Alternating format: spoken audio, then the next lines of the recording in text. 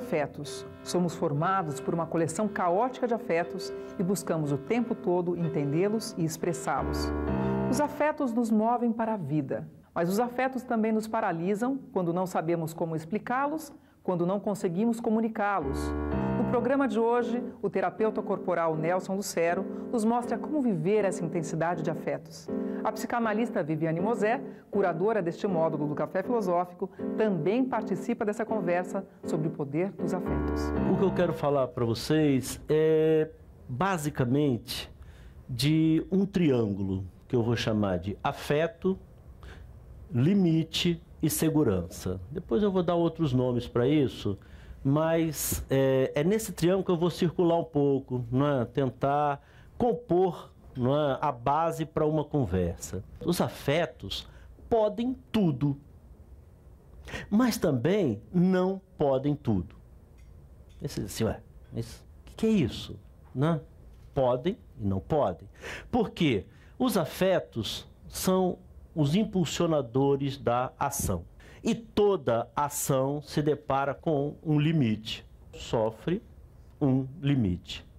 Por isso, os afetos podem tudo, mas também não podem tudo. E é exatamente nesse jogo, não é?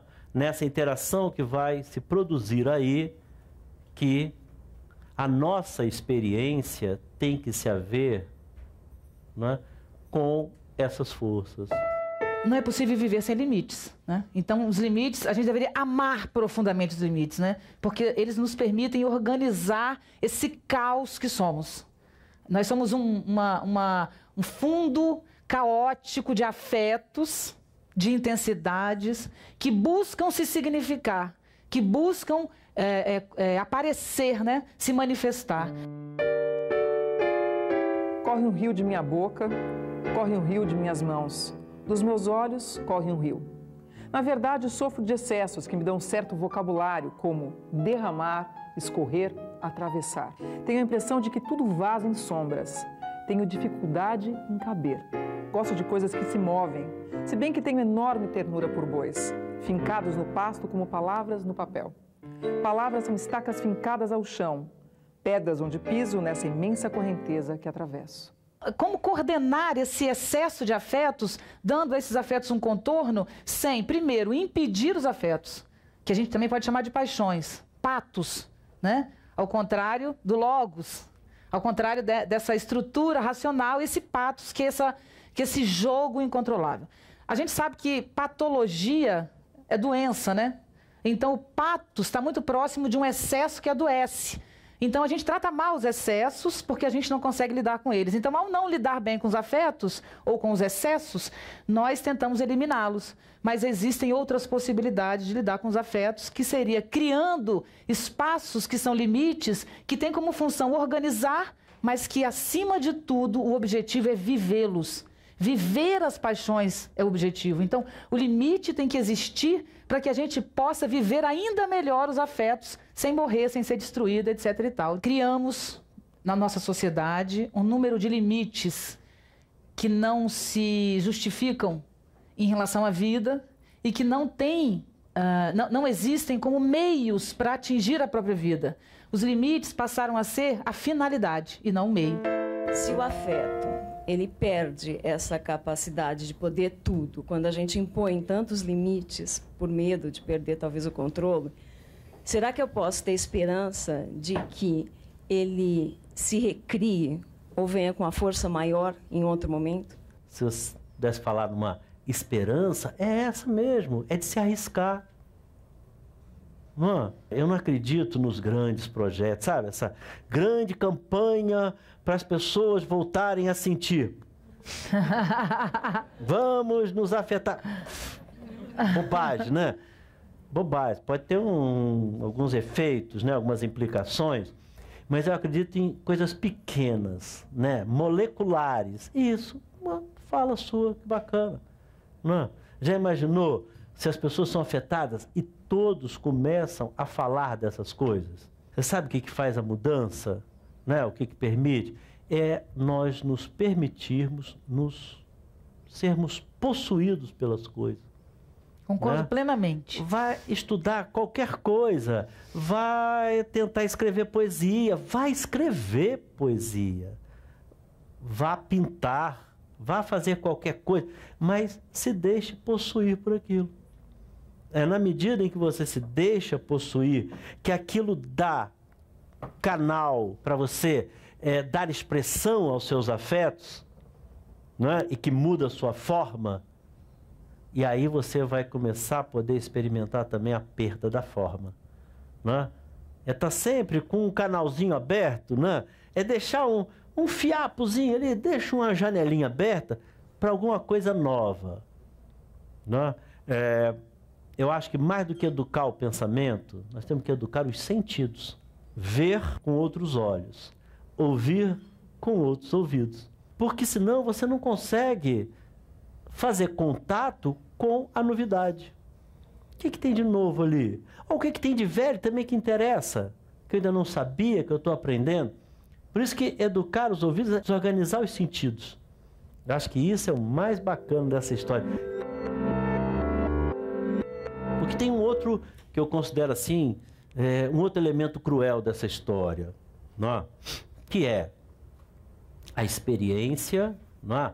ela é sempre singular, ela é sempre de primeira pessoa. Eu nunca tenho acesso à experiência do outro. Não é? Eu estou aqui nesse momento, né, absolutamente exposto a vocês, não é? Experiências as mais diferenciadas estão ocorrendo, não é? Mas tudo isso fica velado, não é? Eu falo, vocês me trazem o quê? Me trazem a expressão. Né? Ah, sim, aí agora a gente já começa a ter um campo melhor, não é? Porque eu só tenho acesso à experiência do outro através da expressão. E o campo da expressão é o campo da ação. Não é? Tudo que eu experiencio, de alguma maneira, vai ganhar forma. Forma de ação. Não é? Numa ação é, de uma máscara emocional, de uma ação motora, é, da minha fala. É? Portanto, da mesma maneira que eu afeto, eu também estou sendo afetado. Todo corpo afeta e é afetado por outros corpos, né? E, e, a, e, a, compreensão desses encontros, desses choques, né? desses afetos, vai produzir para o Spinoza os bons e os maus encontros quando o encontro nos aumenta, nos alegra, nos produz ação. Quando o encontro nos diminui, ele nos torna passivos, porque ele nos tira a ação e por isso nos entristece. Então, compreensão de alegria e tristeza é, é, dependem para Spinoza de uma quantidade, na verdade, de intensidade de vida que você ganha. Toda alegria é alegria de viver. Quando você ganha vida, você se alegra. Quando você perde vida, você se, você se entristece. O único afeto para o Spinoza é a alegria. Tristeza é falta de alegria. Amor é alegria atribuída a uma causa externa. Raiva é a falta de alegria atribuída a uma causa externa. E aí ele vai elaborando. Então, o único afeto é a alegria, que é, na verdade, se relacionar com a vida que ele chama de Deus que é o todo, a natureza, a substância, etc. e tal. Então, é um tema maravilhoso que eu, eu, eu brinco sempre dizendo que a gente devia estudar isso na escola. Né? A gente estuda tantas coisas inúteis né? e não estudamos uma interpretação. Não quero nem dizer que o Spinoza sabe o que é alegria e que a definição dele é a correta. Mas quando a gente tem uma definição, a gente pode criar outras, porque ela te dá um parâmetro. Né? E nunca discutiram com a gente alegria. Como que a escola não fala o que é alegria? O que é a dor, né? Essa, essas questões que são tão fundamentais hoje na nossa vida.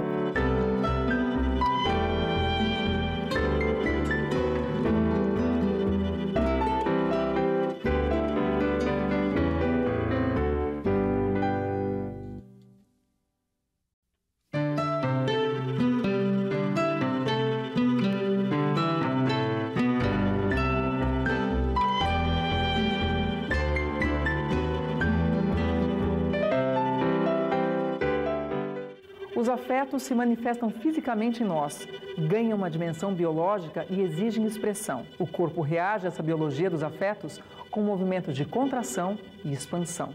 Os gestos do nosso corpo, as emoções do nosso rosto, são formas de manifestar os afetos que sentimos. Os afetos moldam as nossas ações, moldam a vida em nós. Se os afetos né, percorrem toda a vida, nós podemos afirmar que eles impulsionam a vida porque eles excitam a vida. É? Os afetos são formas da excitação. A vida é excitação. A vida é tensão. Estamos vivos porque há uma excitação que nos percorre. A vida em mim vibra em cada célula. E a excitação, ela tem duas formas fundamentais. Né? A excitação tem dois movimentos, duas potências, que é a contração e a expansão. Né? A excitação é isso, né? É contrair e expandir. Né? É essa contração e essa expansão que nós vamos chamar de pulsação. Né? Cada célula do meu corpo pulsa. As células vão se organizando, os tecidos, os órgãos, não é? uma forma de um organismo e todo esse organismo pulsa. E a célula, a gente poderia pensar assim, como uma unidade mínima da vida, não é? Que na verdade nós somos um grande aglomerado que também o que? Uma série de processos extremamente intensos e limitados por uma membrana.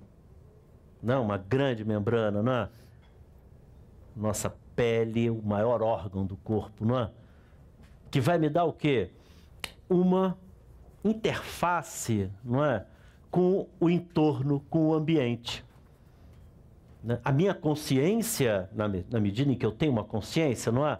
Ao longo do processo evolucionário, nós humanos ganhamos essa propriedade, a consciência. E a minha consciência, ela é o meu corpo. Um corpo que pulsa. Um corpo que se excita, um corpo que contrai e expande e que, portanto, afeta o ambiente pela própria pulsação. A vida necessariamente se expressa. Né? Se ela é excitação, e a excitação são esses dois movimentos, não é? a contração e a expansão. Todo movimento, não é? Para eu falar, alguma coisa se contrai, outra se expande para eu mover meu braço, minha perna, né? da mesma maneira que meu corpo está pulsando, todo né? o movimento tem uma pulsação. Né? Para fazer isso aqui, alguma coisa contrai, outro músculo expande, senão não cria o movimento. Tá? Portanto, a vida sempre ganha uma forma de expressão. Eu levaria um pouco mais. Sempre há uma forma de expressão que é do afeto. O que, que o Reich percebeu? né, que numa certa é, composição né, de interações, nós vamos criando movimento na contração. Né? E aí o que acontece? É como se as nossas membranas fossem se espessando, né? produzindo o que ele chamou, uma maneira muito interessante, as couraças musculares. E em Reich isso não é uma metáfora, isso é literal. Metá elas deformam o corpo. Por que ele fala de uma deformação? porque é uma forma que não pulsa mais. Ela cria movimento na contração. Porque a contração é uma forma da excitação. Não é, não é a ausência da excitação, a contração é a forma da excitação. Só que a excitação contraída, ela faz o que com a gente? O que acontece, não é? Quando a contração sobrepõe, não é? A pulsação se aperta na contração. Eu começo a ficar imobilizado. Reich é um dos principais nomes da psicoterapia corporal. Nessa linha da psicologia, corpo e mente são considerados uma unidade e devem ser trabalhadas em conjunto. A história emocional do paciente fica gravada em seu corpo e é revelada pela sua postura corporal, seus gestos e até seu tom de voz. As couraças musculares descritas por Reich podem ser entendidas como uma manifestação física da neurose. E a terapia reichiana trabalha diretamente nas couraças para liberar a energia, o afeto que ali ficou reprimido. O trabalho que ele criou foi exatamente o que? Você poder fazer com que as pessoas fizessem contato com esse endurecimento, e à medida que elas fossem desconstruindo a couraça, elas pudessem voltar a sentir. Elas pudessem se abismar novamente, correr risco. Há uma excitação contraída, né, que pode ir te mobilizando, imobilizando. É a neurose, não é? A neurose é o quê? A neurose é você criar movimento na contração. Não é? Você gastar energia no sintoma, não é? Você pulsa na contração, você se defende, não é? Do quê? Da possibilidade de afetar e ser afetado. Eu construo um dispositivo, uma estratégia que me aprisiona no modelo, numa forma, numa forma mais dura. A neurose é a dureza, é a mobilidade. Eu me afeto de uma forma contraída, não é? E vou afetar dessa forma também. Desde que as coisas funcionem naquele modelo, tá bom. Desde que elas não ganhem expansão, tá bom, porque ali eu estou protegido. Protegido do quê? De certa maneira, me protejo da vida. Não é? Me protejo da vida. Não ela se protege da vida. Não é? Por isso que ele defende, não é? se defende da angústia. Não é? A angústia nasce, a angústia cresce quando eu fico em contato com a morte. Não é? Quando eu não me abismo, quando eu não afronto a vida. E tem o outro extremo, não é? Porque eu também posso me perder na expansão.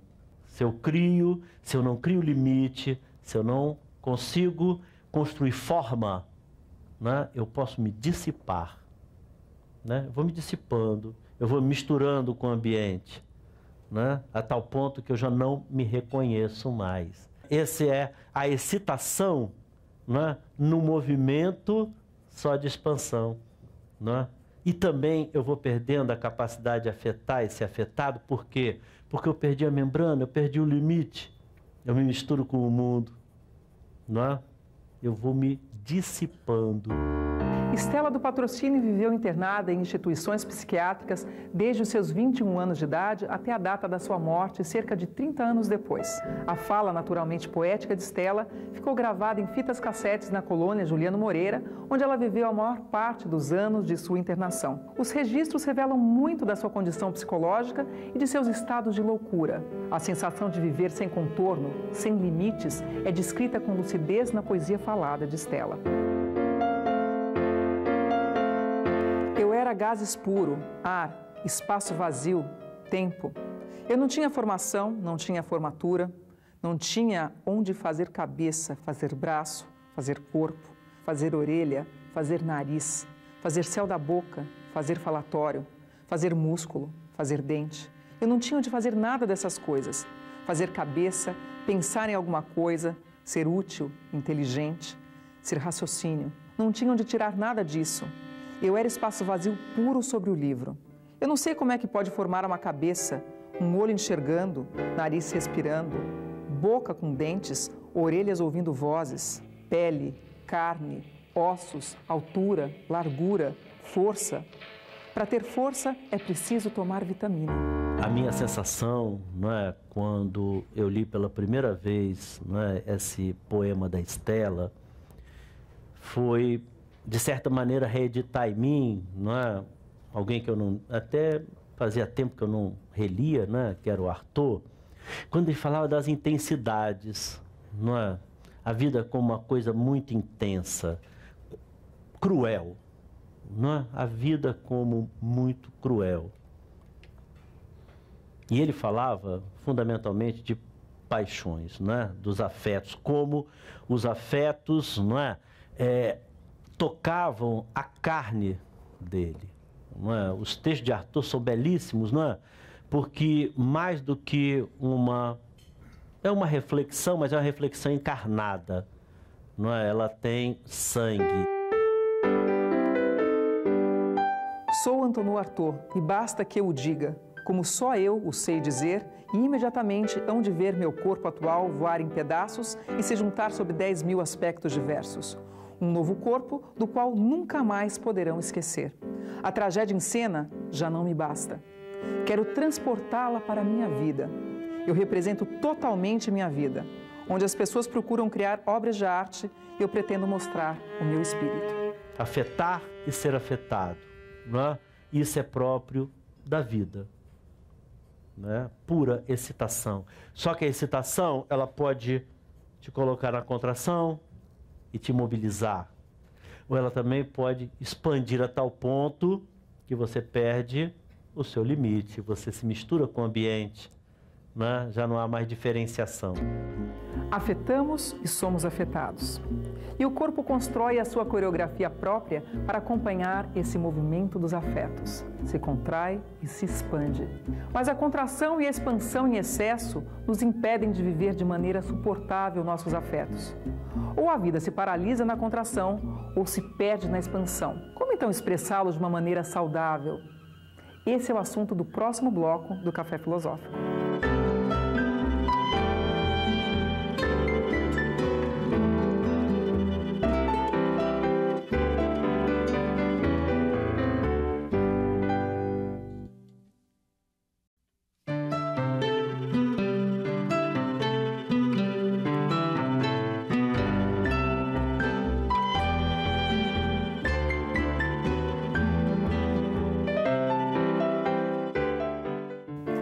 Intensidade da vida pode ser insuportável e nos deixar paralisados diante da sua força e crueldade.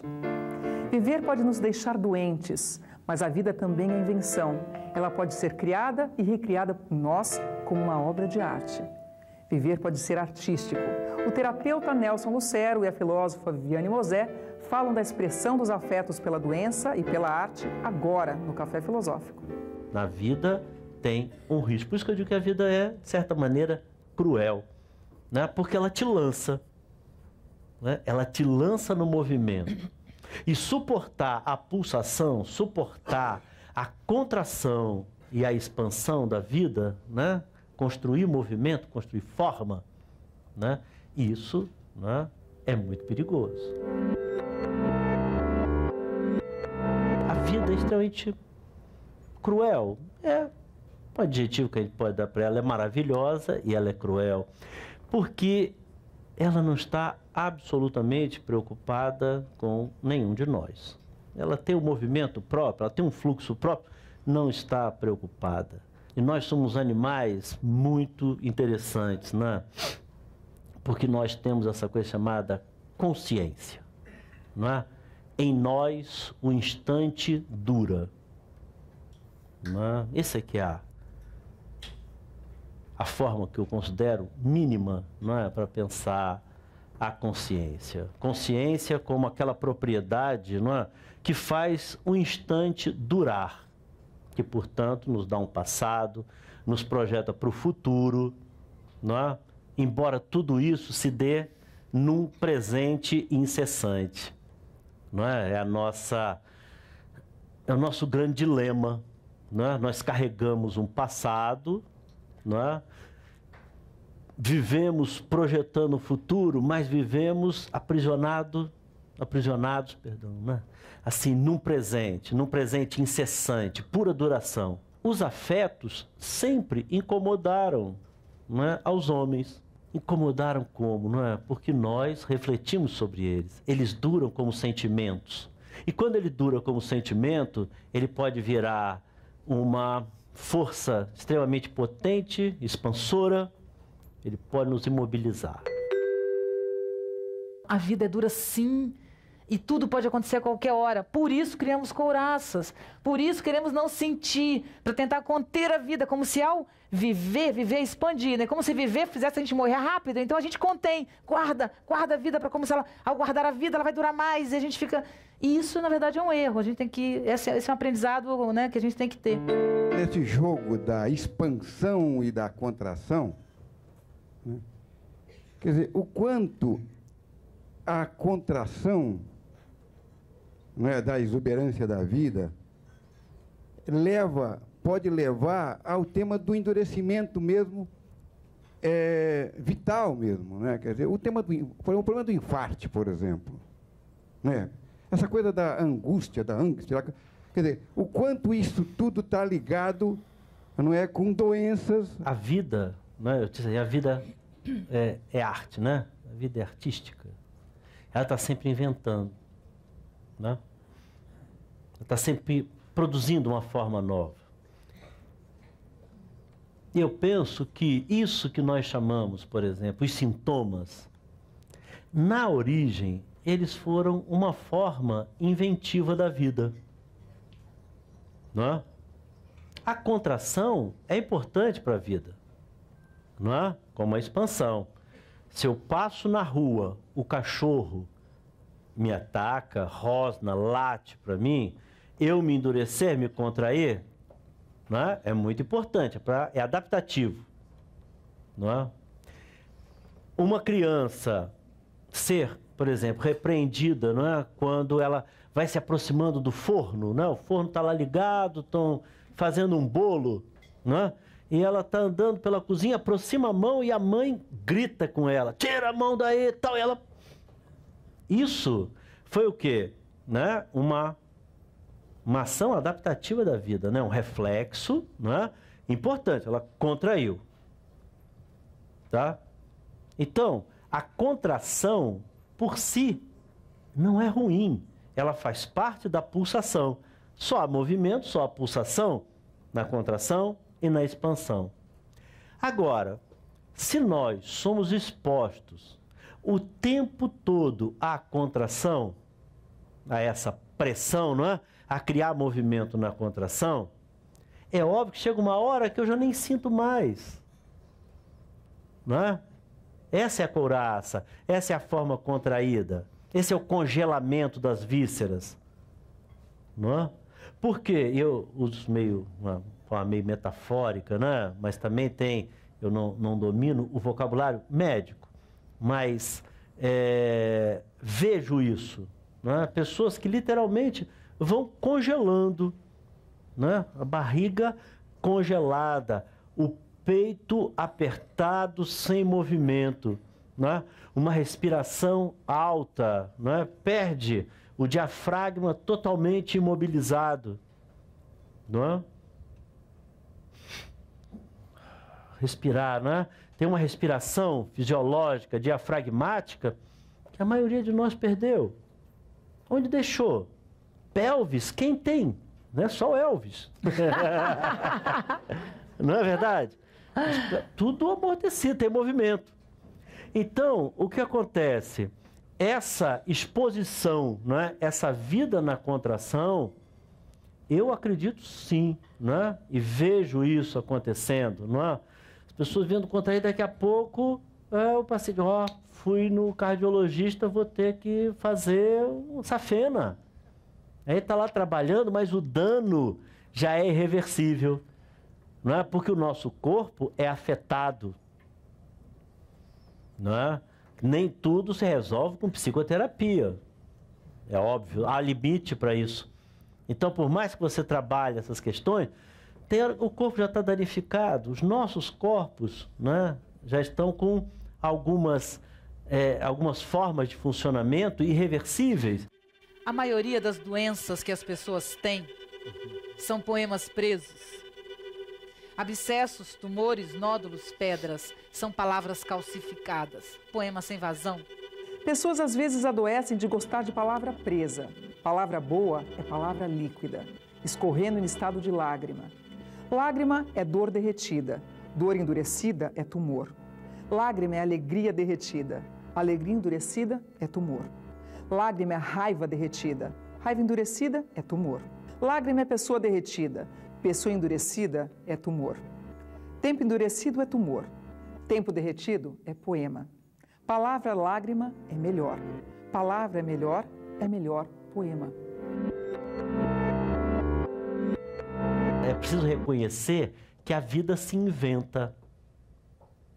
Né? A vida se inventa em mim e eu me invento na vida. A consciência proporcionou isso. Não é? Da mesma maneira que a vida se inventou em mim, eu me invento na vida.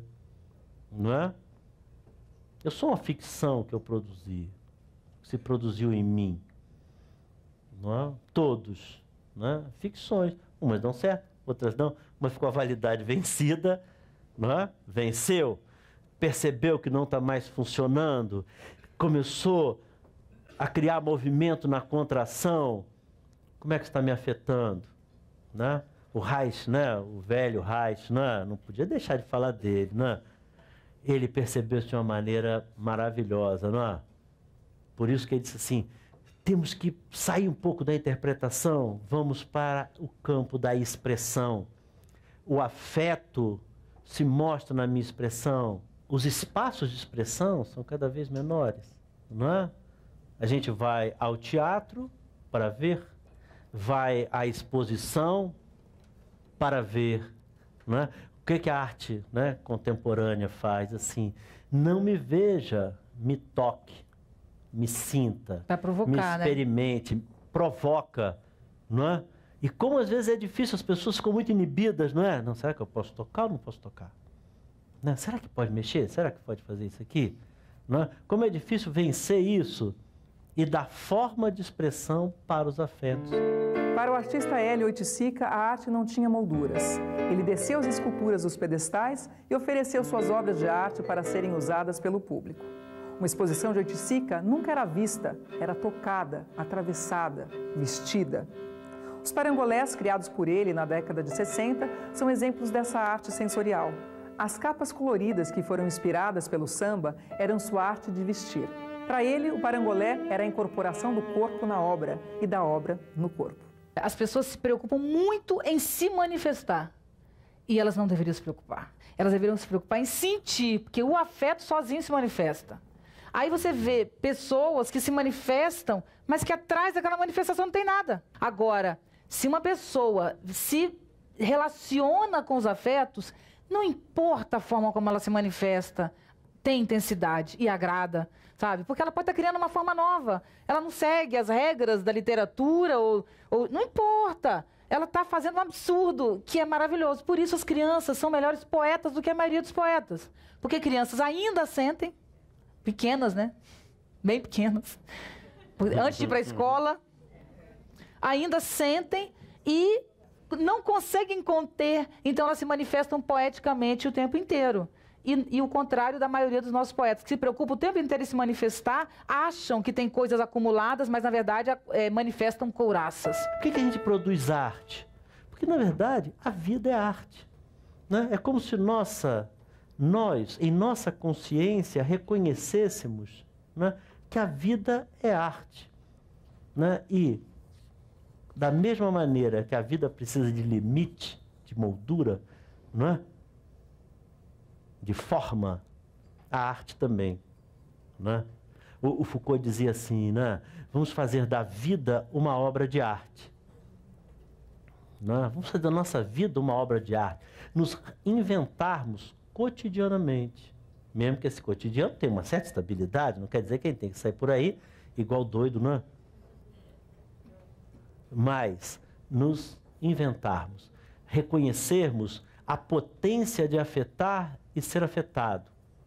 E reconhecer quando na contração vamos ficando impotentes né, nesse movimento. E a potência nasce exatamente de reconhecer a morte da forma. E quando eu reconheço a morte da forma, eu posso me desconstruir, produzir uma nova forma, produzir arte em mim. Né? E esse é que é o, o nosso jogo, não é? Um jogo que é artístico, é? que é estético, que é inventivo, mas também que é ético e que é político.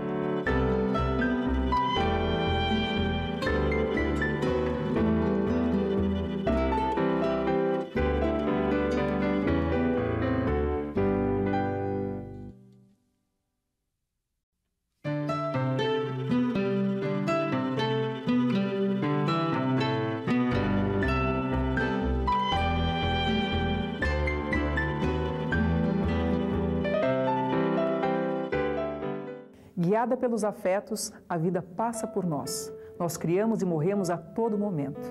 Esse é o movimento da vida. E para acompanhar a vida em seu curso, precisamos ter a sabedoria de aceitar nossas mortes e a capacidade de nos recriarmos. Evitar as perdas não é uma forma de preservar a vida. Pelo contrário, fugir da morte é também abrir mão de acompanhar o movimento da vida. E a vida inventa formas, né? A vida é pura pulsação. Né? Se o movimento é pulsação, a vida é pulsação. E ela vai sempre precisar de um limite. Isso está do ponto de vista né, evolucionário, biológico e na nossa forma complexa, não é? organizada à maneira de uma consciência, para que a gente possa ter forma, forma singular, não é? forma singular de existência, nós temos que estar continuamente produzindo formas. Não é? E essas formas é que vão estar também o tempo todo ameaçadas. Não é? A morte não é o oposto da vida, não é? Ela é um. Tá lá, tem a vida e tem uma coisa aqui no final que é morrer.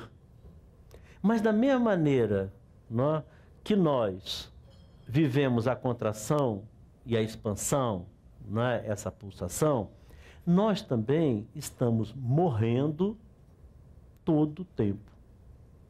Não é? Ou seja, nesse jogo do afetar e do ser afetado, não é?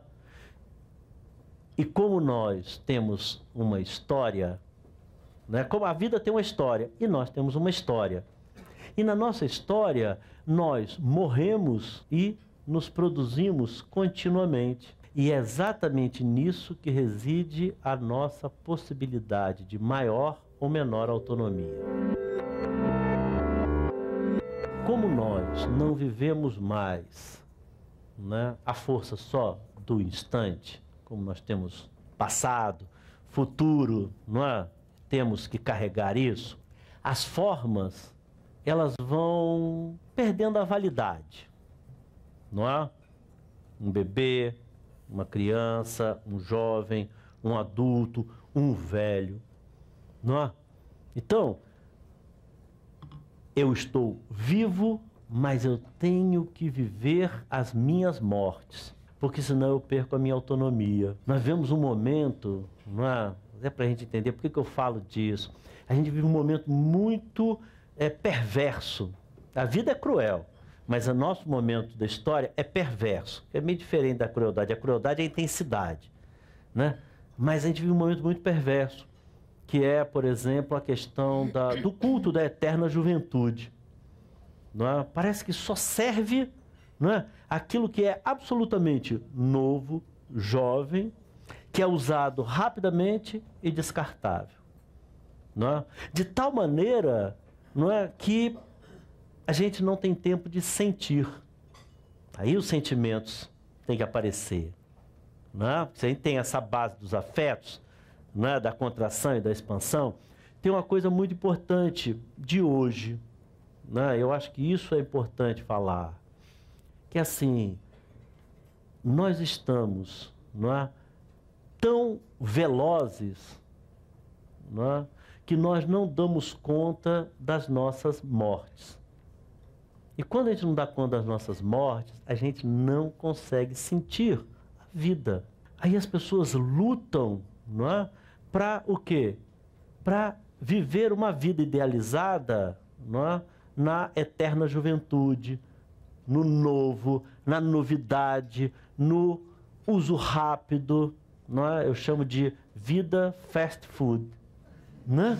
Parece que ele tem que consumir a vida naquele momento. Tudo tem que ser muito intenso, muito veloz e descartável. Daqui a pouco vamos viver 200 anos. Não é, é, não é irreal que a gente vai viver 200 anos. Não é irreal, é real. A tecnologia nos permitirá viver 200 anos. Para quê? Se eu não consigo viver 80 com dignidade, vou viver 200 para arrastar esse infortúnio. Entendeu? Não tem por que viver mais. Eu acho que a vida está certa, tá bom o tamanho. Quem vive quer morrer em algum momento. Porque a gente cansa, não. Você não vive a vida, você arrasta o fio. Aí você não quer viver 50, 80, 100. Você quer ver 200, porque você não viveu nenhum, né? Você quer eternamente projetar essa angústia. Você tem que aprender a desorganizar as formas para construir outras formas. Não é? A forma que eu tinha de afetar e ser afetado num tempo construía uma forma em mim. Não é? Tinha uma certa forma. Né? Tinha um certo limite, uma maneira de avançar e de recuar. Né? Só que essas formas vão ficando com a validade vencida. Não, vai ficando realmente com a validade vencida. Não funciona mais. E se eu não dou conta né, de que isso não funciona mais, eu não consigo o quê? Desorganizar essa forma em mim, né? Suportar com alegria não é? essa morte. Não é? Porque é preciso suportar com alegria essa morte, intensificar essa morte. Né? E reconhecer o quê? O que é desorganizar essa forma? Em termos da experiência, é? eu defino isso de uma maneira assim: é reconhecer que algumas coisas nós ganhamos e outras nós perdemos. Para isso fomos feitos, para lembrar e ser lembrado, para chorar e fazer chorar, para enterrar nossos mortos. Por isso temos braços longos para os adeuses, mãos para colher o que foi dado, dedos para cavar a terra. Para isso fomos feitos, para a esperança no milagre, para a participação na poesia, para ver a face da morte. De repente, nunca mais esperaremos. Hoje, a noite é jovem. Da morte, apenas nascemos imensamente.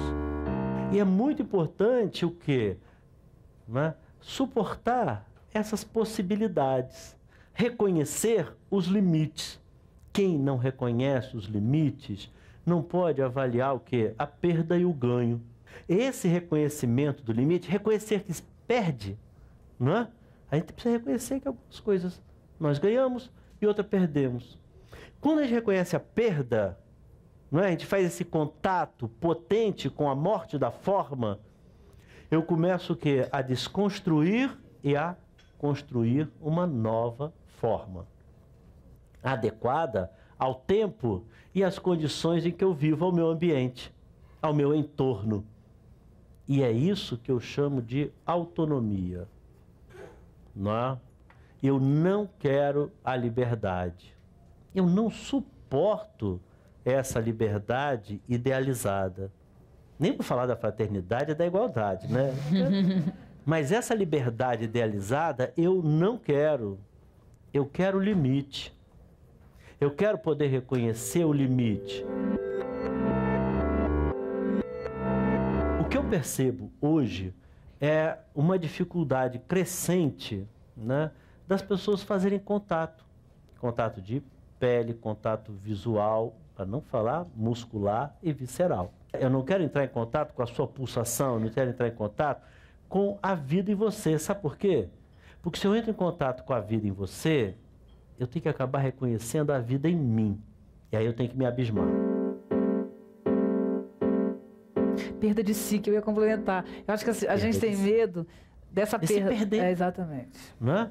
Por isso que é, se perder de si não é? reconhecer o quê? Essa validade das coisas. Não é? Eu tenho que me perder de mim. Não é? Eu tenho que me desapegar o tempo todo. Ah, mas desapegar envolve perigo, não é? Desapegar envolve perigo. Então o que as pessoas fazem? Nem se apegam a nada. Guardar uma coisa não é escondê-la ou trancá-la. Em cofre não se guarda coisa alguma, em cofre perde-se a coisa à vista. Guardar uma coisa é olhá-la, fitá-la, mirá-la por admirá-la, isto é, iluminá-la ou ser por ela iluminado. Estar por ela ou ser por ela. Por isso, melhor se guarda o voo de um passarinho do que um pássaro sem voos. Por isso se escreve, por isso se diz, por isso se publica, por isso se declara um poema, para guardá-lo como eu não quero não é, sofrer a dor do desapego, que é a dor de viver, eu nem me apego. Entenderam? Eu nem me apego, eu não faço contato. Não gosto desse copo, tem que ser descartável. Não, eu gosto desse copo de vidro. Eu vou cuidar dele. Quero até me apegar, porque uma hora ele vai quebrar. Quando ele quebrar, eu vou sentir a falta dele. Porra, quebrou. Mas ele quebrou, acabou, ele tinha que acabar mesmo. Não é? Essa dor né, de existir e não existir é que é muito ameaçadora no contemporâneo. Né? Então as pessoas falam assim: não, prefiro de plástico, que eu bebo e jogo fora. Prefiro Nem não... me apego, porque aí eu não sofro. Prefiro não ter para não perder. Isso. Esse pavor da perda, né? Tem uma coisa assim, eu acho que o contemporâneo, né?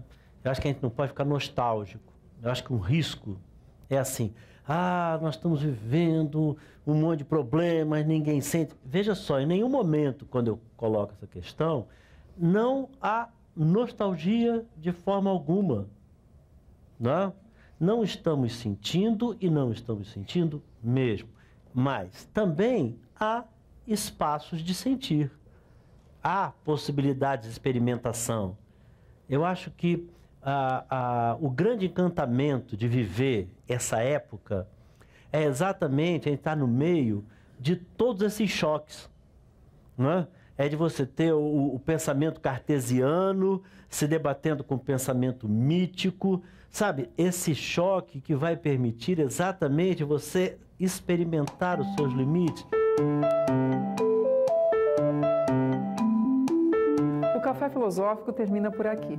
Para assistir às palestras na íntegra e participar das transmissões ao vivo, acesse o site cpflcultura.com.br. Acompanhe também a nossa programação através do twitter.com/cpflcultura. Até o próximo Café Filosófico.